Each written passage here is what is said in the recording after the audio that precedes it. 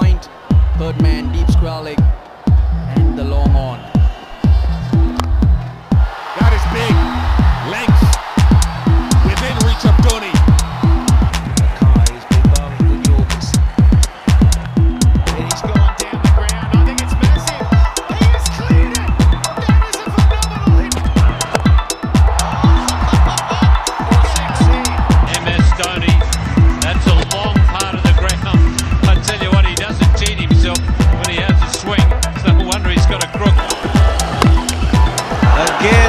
taken the aerial route and no guessing where it's landed.